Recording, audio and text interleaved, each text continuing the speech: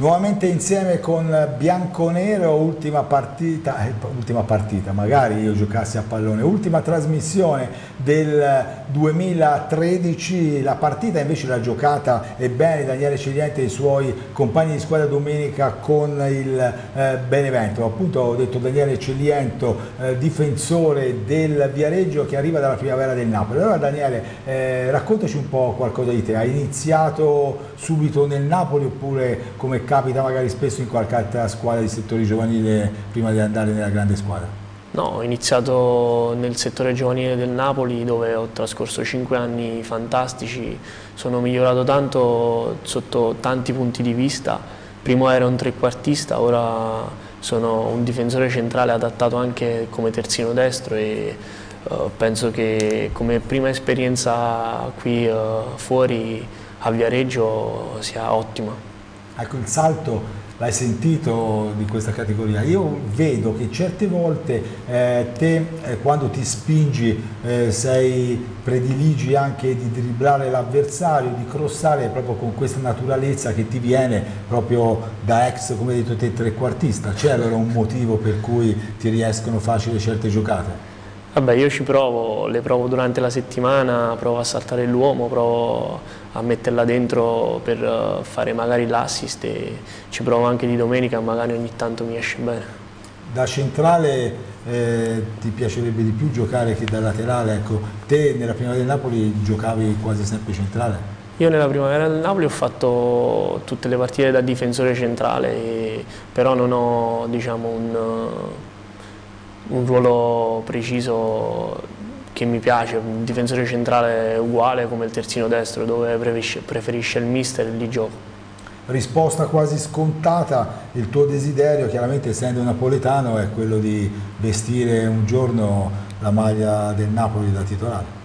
Eh, speriamo, quello è tra virgolette il mio sogno come tanti ragazzi napoletani spero di crescere tanto e di arrivare a quel, a quel sogno. Qui un ex eh, giocatore del Viareggio, Daniele Mannini, che ora è a Siena, eh, ha giocato nel Napoli, quindi lui ha avuto questa grande gioia, questa grande opportunità, eh, ci raccontava sempre che è un'emozione perché quello è uno stadio diciamo un po' tutto particolare, lì non c'è avversario per richiamare lì tutte le domeniche, tutto esaurito, chiunque venga. Purtroppo abbiamo una, una, passione per il calcio, no, noi napoletani. Bella, no, purtroppo tra virgolette, ah. perché noi napoletani siamo proprio così calorosi e la partita della domenica l'aspettiamo. Lì o viene il Milan o viene la Juve, viene il Sassuolo, dico 50.000, 60.000 tutti lì. Dobbiamo essere lì a sostenerli.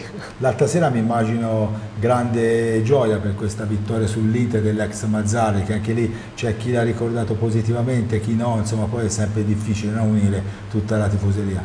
Eh sì, vabbè, ci può stare che qualcuno sia contrario sua, diciamo, al suo addio, però vabbè, va ricordato bene perché ci ha fatto fare un gran salto di qualità. Ecco, te ti allenavi come primavera, a volte anche con la prima squadra, ecco, facevate queste partite oppure ecco, no, ecco, cioè, però il contatto diretto con questa prima squadra, con questi grandi campioni l'hai avuto? Io ho, fatto, ho, avuto la fortuna di fare il ritiro di inizio anno l'anno scorso con Mazzarri e mi sono trovato davvero bene, un grandissimo mister e, e devo dire la verità, allenarsi e giocare con, con campioni che ha nel Napoli aiuta tanto a crescere e a migliorarsi. Ecco, quindi diciamo chissà che un giorno non ti chiami al telefono quando sei in prima squadra col Napoli, e, però non mi buttare giù. Eh. No, no, assolutamente. Perché non si scherza. Allora, eh, ora passiamo con le immagini a Pisa-Viareggio, perché ora incominciamo a entrare un po' in clima di questo derby. Queste sono le immagini dell'anno scorso con eh, la vittoria dei nero-azzurri, eh, nero-azzurri che però stanno attraversando un momento un po' particolare.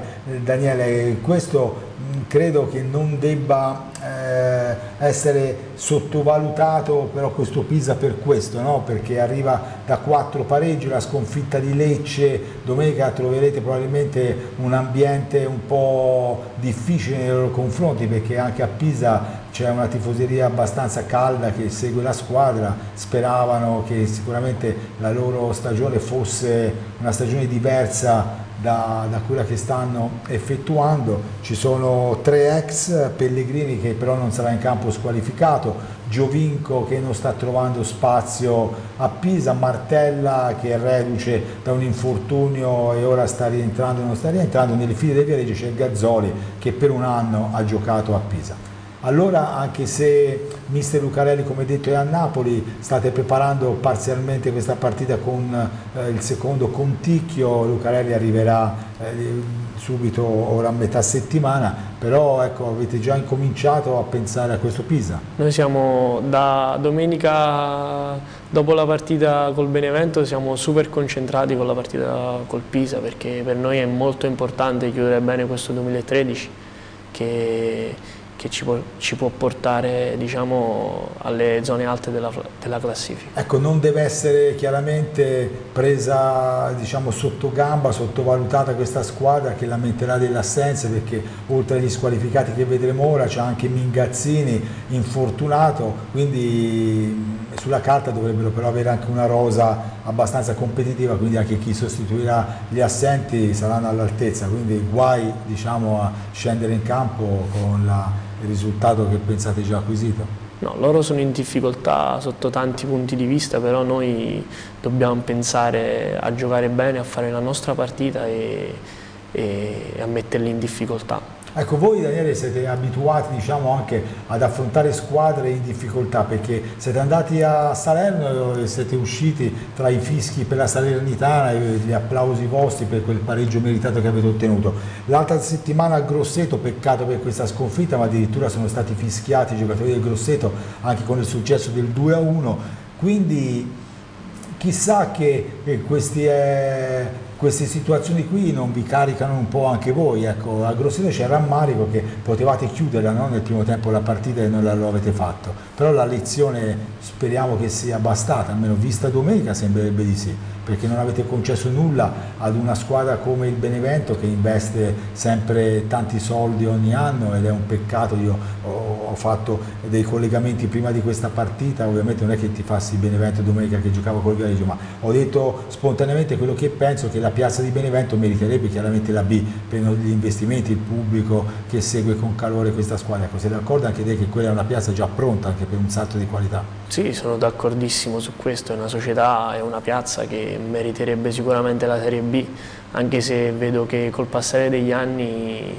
non riescono a, a fare questo piccolo salto di qualità, perché come società e come piazza, ripeto, meriterebbe la B assolutamente. Ecco, domenica grazie anche a voi li avete messi davvero in difficoltà perché loro solo nel finale sono riusciti con Mengoni a trovare il gol. Vediamo ora eh, gli squalificati, le decisioni del giudice sportivo che ha inflitto addirittura tre giornate a un giocatore del Pisa, Cia, che quindi sarà uno degli squalificati di domenica. Due giornate a Briganti del Gubbio, una a Tartaglia del Gubbio, Tortora della Paganese, Pellegrini e Rozio del Pisa, altri due assenti, Capece dell'Ascoli, Derisio e Zanonna del Benevento, Benedetti del Catanzaro, Gessa del Frosinone, Onescu del Grosseto, Carcione dell'Aquila, Rizza della Nocerina, Cavagna del Prato, Luciani e Montervino e Tuia della Salernitana a Mende, 2.500 euro per la Paganese, 2.000 per il Perugia, 1.500 per il Barletta, 1.000 per l'Ascoli, Lecce e Salernitana. Quindi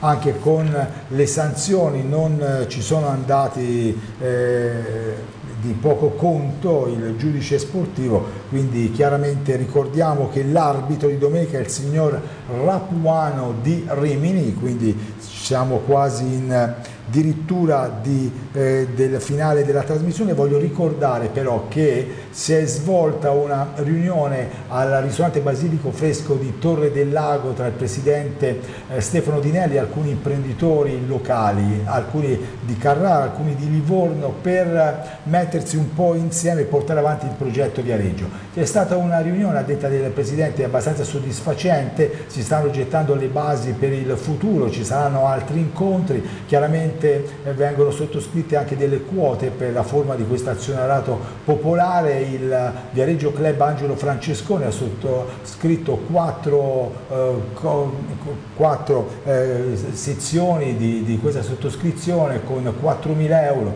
quindi chiaramente si stanno muovendo anche alcune persone vicino alla Viareggio. La speranza ovviamente che ce ne siano altre per portare avanti il progetto, soprattutto per la valorizzazione del settore giovanile, come parlo Daniele con tutti gli ospiti che vengono il martedì sera qua, voi venite quasi tutti dai settori giovanili, quindi mi piace sempre sentire anche la vostra opinione a tal proposito. Se Viareggio riuscisse a crearsi un centro come eh, insegue già da un paio d'anni la società, sarebbe davvero importantissimo per il futuro. Sicuramente sarebbe un bel passo avanti, ma penso che il Viareggio come società sicuramente ci starà pensando e starà mettendo le basi per uh, proporlo. A proposito di questo io ho ribadito che occorre ovviamente la collaborazione anche dell'amministrazione comunale, ricordiamo le partite in programma domenica che sono Benevento Prato, Catanzaro L'Aquila, Frosinone Perugia, Grosseto Barletta, Gubbio Pontedera, Nocerina Ascoli, Pisa Viareggio, Salernitana Paganese, Riposa e Lecce. Ricordo che mercoledì pomeriggio ci sono i recuperi di Barletta, Pontedera, Nocerina, Lecce.